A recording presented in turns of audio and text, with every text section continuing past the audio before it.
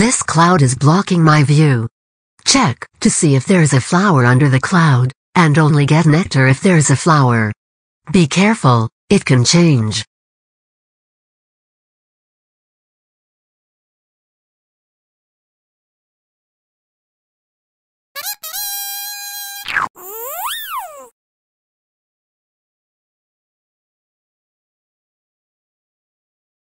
More clouds. Check underneath every cloud to see if it is hiding a flower before you get nectar. Remember, not all clouds hide the same thing.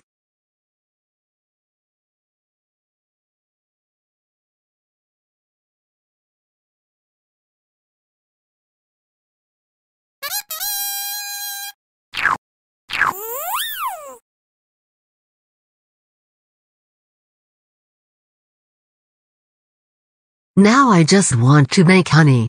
Some of these clouds might have honeycombs under them. Be sure to check each cloud.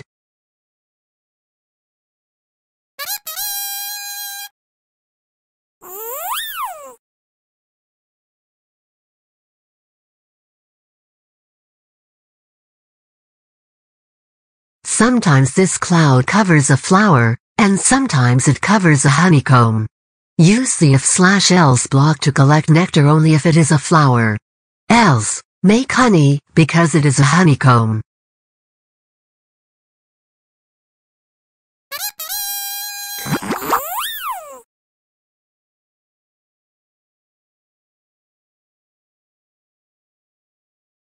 There will be either a flower or a honeycomb under each of those clouds. Use the if slash else block to collect nectar if there is a flower. Otherwise, make honey, because there is a honeycomb.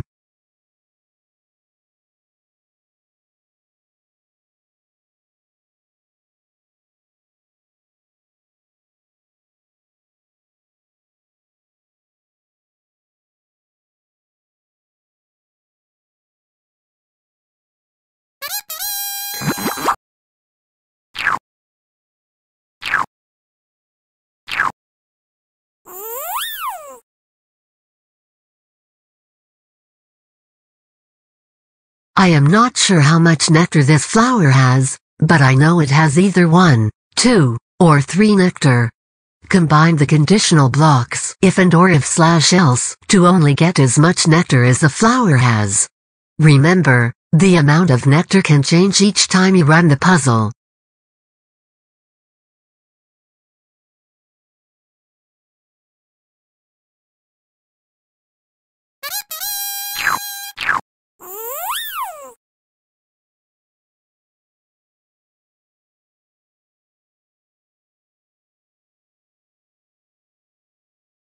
These flowers can have three, two, or one nectar. Complete the check purple flower function and use it to collect all of the nectar at the flowers.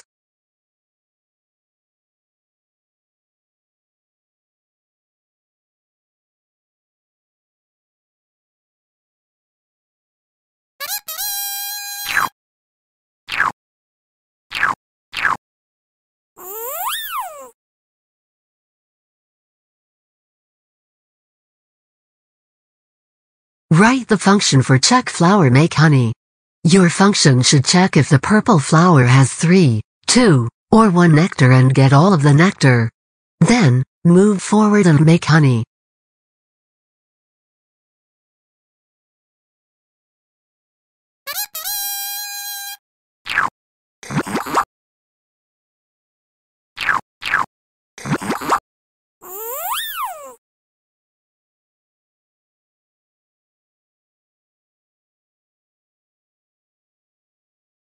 Assessment This cloud is either hiding a flower with one nectar or a honeycomb that needs one honey. Complete the get nectar or make honey function, then call it to collect the nectar or honey.